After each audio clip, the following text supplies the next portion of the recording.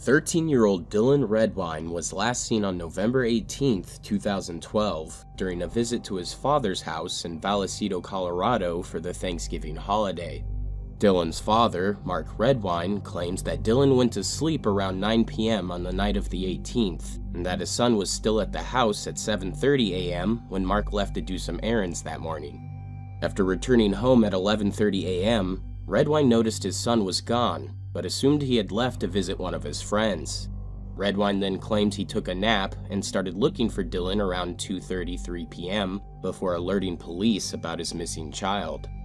Months later, Dylan's parents would accuse each other of being involved with the disappearance of their son during an interview on the Dr. Phil show. In that interview, Mark Redwine mentions that Nickelodeon was on the television when he returned home that morning, and that he didn't notice all of his son's possessions were missing, including Dylan's fishing pole.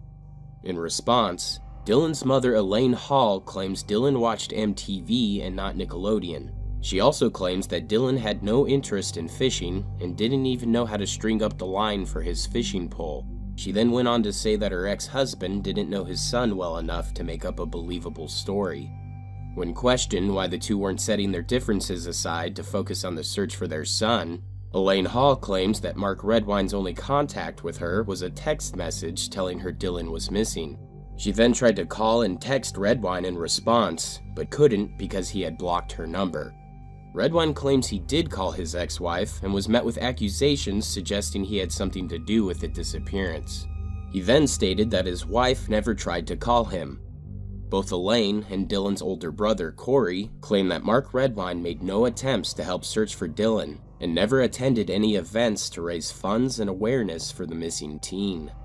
Later in the episode, Dr. Phil questions Redwine about the results of a polygraph test he had taken, and Redwine states that he failed one polygraph and that a second test came up as inconclusive. In another segment, Redwine is asked to take a polygraph on the show, he agreed, but wanted to take the test the following day because he felt overwhelmed at the time.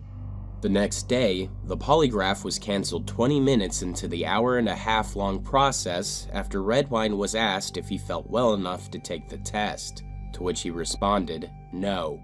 He then stated that the reason he didn't feel well was because he only got three hours of sleep and drank half a bottle of Jim Beam the previous night. On June 27, 2013, it was announced that Dylan Redwine's remains were discovered near Middle Mountain Road, 8 miles from Mark Redwine's home. They did not find Dylan's skull.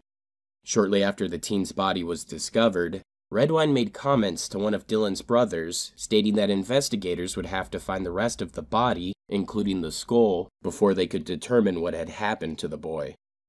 On November 1, 2015, Dylan's skull was found a mile and a half distance from where the other remains were found. Investigators say they found signs of blunt force trauma and marks similar to those made by a knife and not wildlife or some other natural occurrence.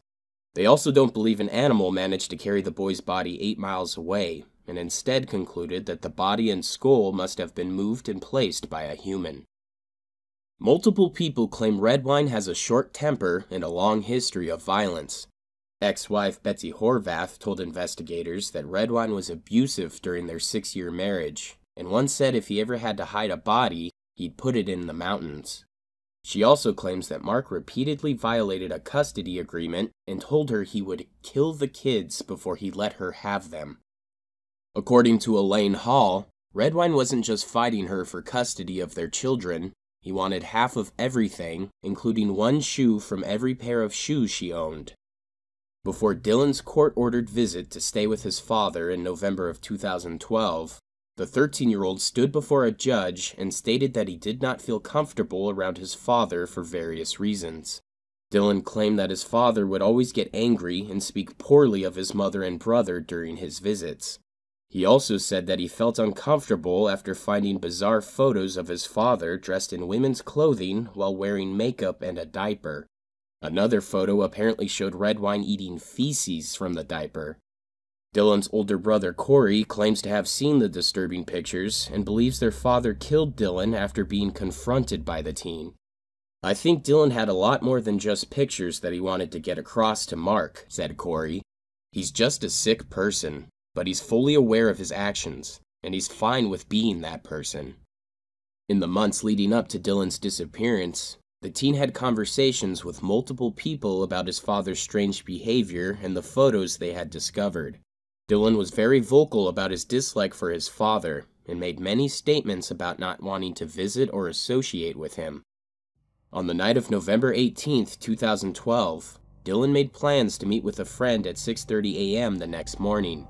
When Dylan did not show up or contact the friend, they sent a text asking, "Where are you?" but they never got a response.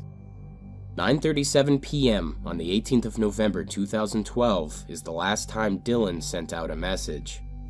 During the investigation, Dylan's blood was found on a love seat in Mark Redwine's living room. They also found blood consistent with Dylan's on the couch, the corner of a coffee table, and under a rug in the same living room. Redwine's home was damaged by a fire and had to be remodeled in March 2012. According to Redwine, Dylan had not suffered any injuries in the home after it was repaired. Cadaver dogs were sent in and responded to smells found in Redwine's truck, the living room, the washing machine, and the clothes he was wearing when Dylan went missing. On July 22, 2017, Mark Redwine was arrested and charged with second degree murder and child abuse resulting in death. Each charge carries a maximum sentence of 48 years. Redwine is scheduled to face trial in September of 2019.